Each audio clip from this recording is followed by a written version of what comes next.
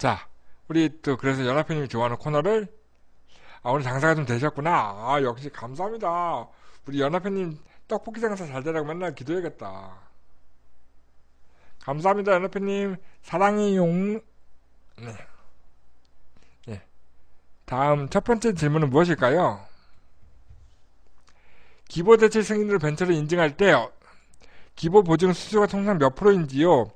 아울러 이제 보증을 받은 8천만 원 이자율과 상환 방식도 궁금합니다라는 질문이 올라왔어요.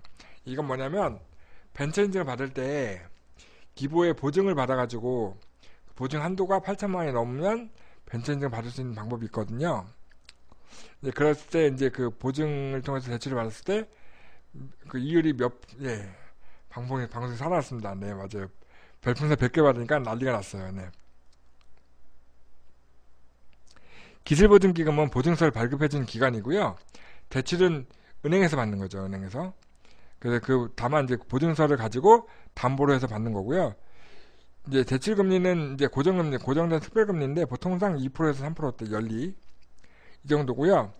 상한은 거치 기간, 이자만 내는 거치 기간 플러스 원리금은 균중 상환하는 걸로 정해져 있는데 일반 융자는 금융기관에서 정한 대출 심사 규정에서 기업의 신용도에 따라서 대출금리와 상환 방식이 정해집니다.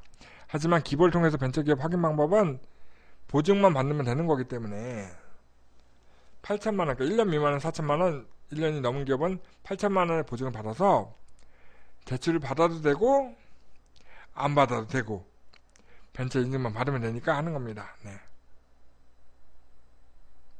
어쨌든 그 이제 기본 보증을 통해서 대출 받으시면 연리는 2%에서 3% 정도의 이자율과 거치기간 플러스 원리금 균등 상환 방식으로 상환하는 것입니다. 네.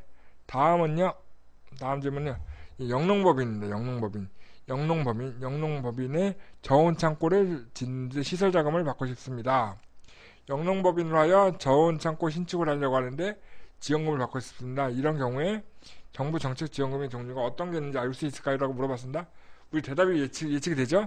김치를 만드는 회사의 김치 저장 창고를 만드는 시설 자금이 따로 있는 것이 아니고 영농 또는 영어 법인을 만들어낸다고 해서 저온창고 시설금이 따로 있는 것은 아닙니다.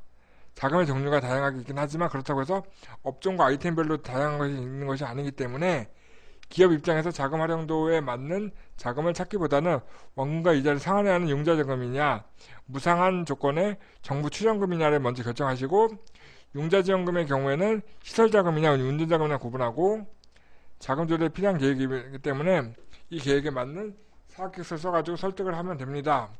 그런 후에 자금 조달이 되면 자원 창고를 신축을 하면 됩니다라고 답이 나왔네, 그죠? 그러니까 뭐냐면 특정 케이스에 맞는 자금이 있는 것이 아니니까 쓸 수 있는 지금 받, 자금을 받아서 시설 자금을 쓰시라고 하는 거죠, 그죠? 네. 이제 이런 저희 방송 보시는 분들 이게 무슨 얘기인지 대강 아시죠, 그죠?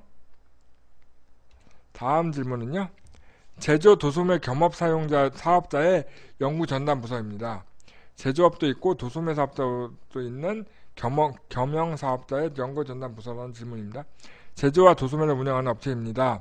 경영학과 출신의 직원을 연구원으로 지식 기반 서비스 목적, 연구 목적의 연구 전담 부서 신고가 가능한지요라고 물어봤습니다. 기업의 주업종이 한국산업기술진흥협회에 경영, 겸영, 겸해서 경영한다는 거죠. 예. 두 군데 운영, 회사 두 개 운영하는 거예요, 두 개. 떡볶이 집도 하고 김밥집도 하나 봐요. 기업의 주업종은 한국산업기술진흥협회에서 인정하는 16개 지식기반 업종의 하나여야지만 지식기반 서비스 사업이 되는 거고요. 여기서 확인하실 수 있는데 이거를 정신미 카페에서 확인해 볼 수 있습니다. 여기 링크를 넣지는 않았지만 정신미 카페에서 확인해 보시면 그러니까 한국산업기술진흥협회에서 인정하는 16개의 지식기반 업종 중에 하나가 되는지 확인해 보시고요.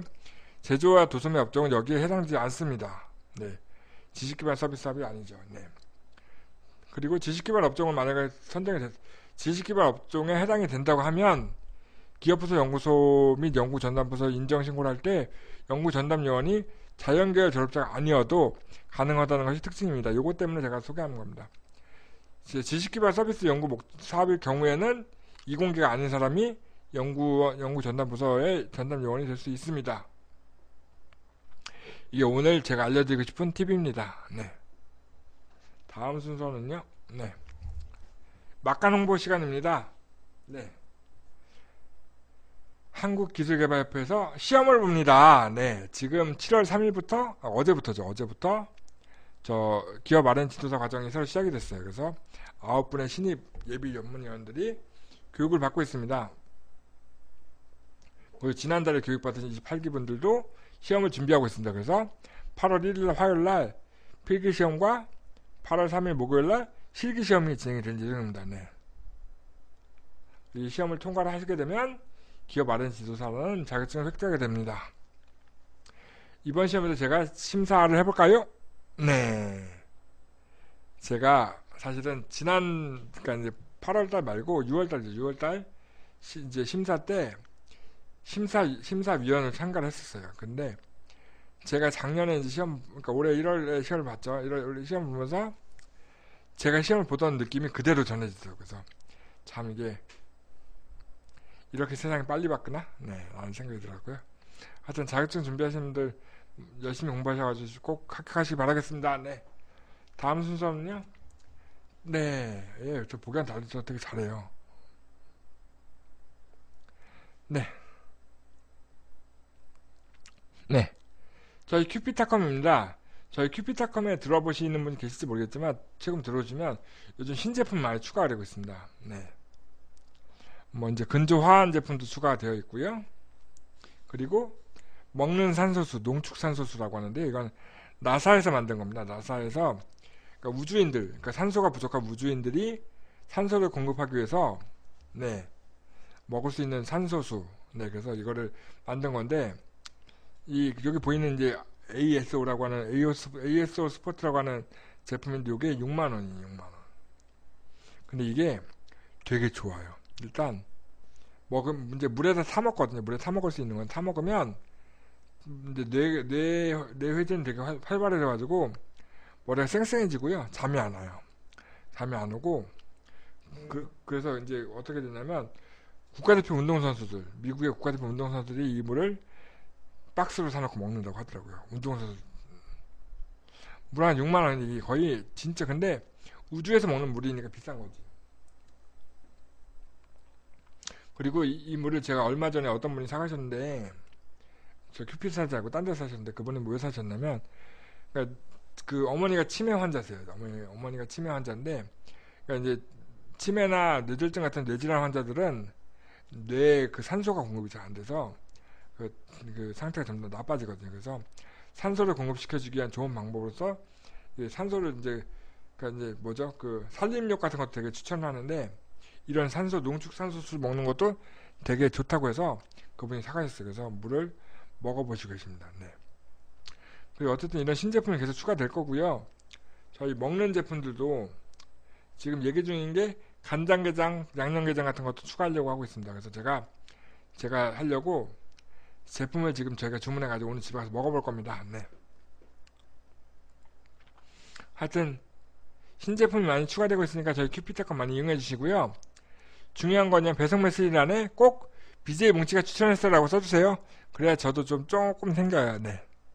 물론 오늘 연합회님이 오늘 별풍선 100개 써주셨으니까 감사합니다. 감사합니다. 감사합니다. 별풍선 100개 감사해요. 네. 조만간 환전하겠네. 네.